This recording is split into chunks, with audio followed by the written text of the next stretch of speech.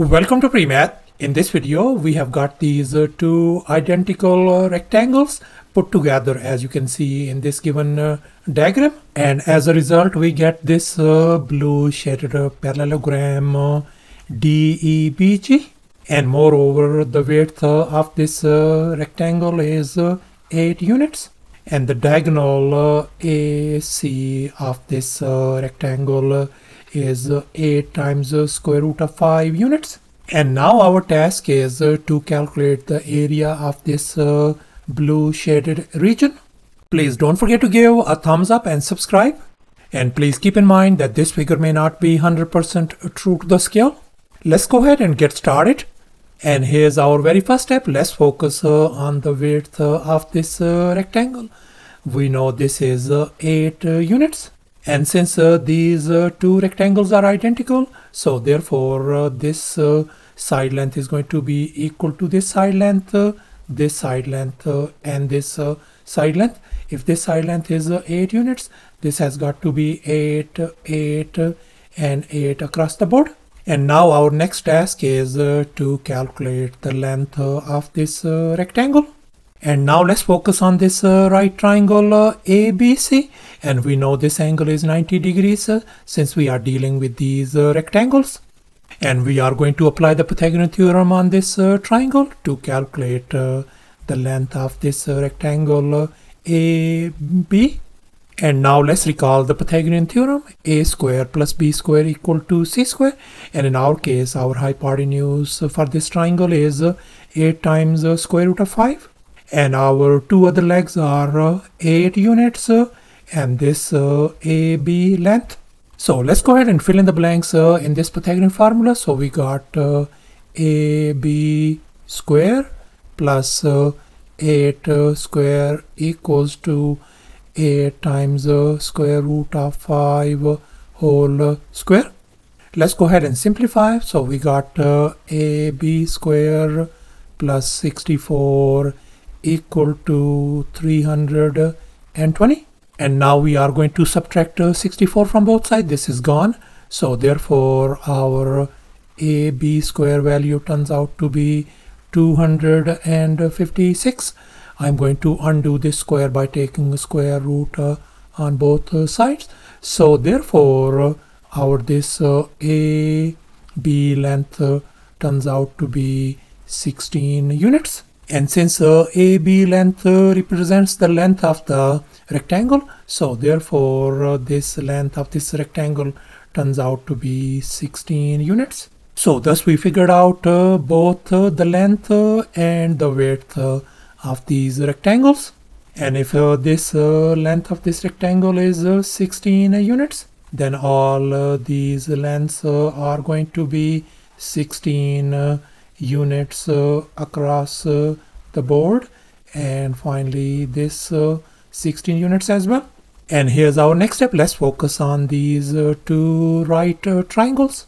And now we can see that these two right triangles triangle DAE and the other triangle EFB are our congruent uh, triangles according to angle uh, side angle congruency theorem. And we know these uh, two angles are our uh, vertical uh, angles. This angle is 90 degrees. This angle is 90 degrees. So therefore uh, this third angle has got to be congruent as well. And finally we got this side length is equal to this uh, side length. And since uh, these uh, two right triangles are congruent so therefore this uh, side length uh, EF uh, is going to be equal to this uh, side length uh, AE. If this side length, I'm going to label this one X, then this side is going to be X as well. And now let's make an observation. We can see that this whole length of rectangle is uh, 16 and this segment uh, EF length uh, is uh, X. Then this remaining segment length DE is going to be 16 minus uh, X. And now let's focus on this uh, tiny right triangle DAE whose uh, side lengths are uh, 8, X uh, and 16 minus X.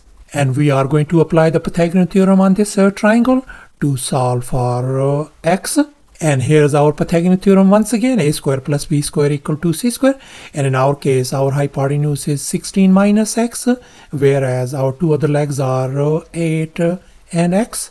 Let's go ahead and fill in the blanks in this uh, Pythagorean formula. So we got uh, x square plus uh, 8 square equal to 16 minus uh, x whole square. Let's simplify. That is going to give us uh, x square plus 64 equals to and now let's recall this famous identity a minus b whole square could be written as a square minus uh, 2ab plus b square. We are going to apply it on this binomial on the right hand side. So therefore this could be written as 256 uh, minus uh, 32x uh, plus uh, x square. And now we can see this x square and this x square is gone and in this uh, next step, I am going to move this 64 on the right hand side, whereas I'm going to move this uh, negative 32x uh, in the opposite direction. So therefore, we can write 32x uh, equals to 256 uh, minus, uh, 64. So therefore, we can write 32x equals to 192 on the right hand side. And now we are going to divide both sides by 32 to isolate x.